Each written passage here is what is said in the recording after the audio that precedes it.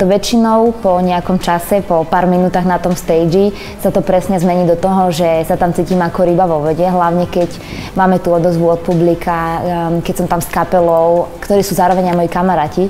Takže Takže sa to tak strieda, že je tam aj tá tréma, ktorú mám rada, ale pretože si myslím, že vtedy tá koncentrácia je trošku lepšia na ten začiatok.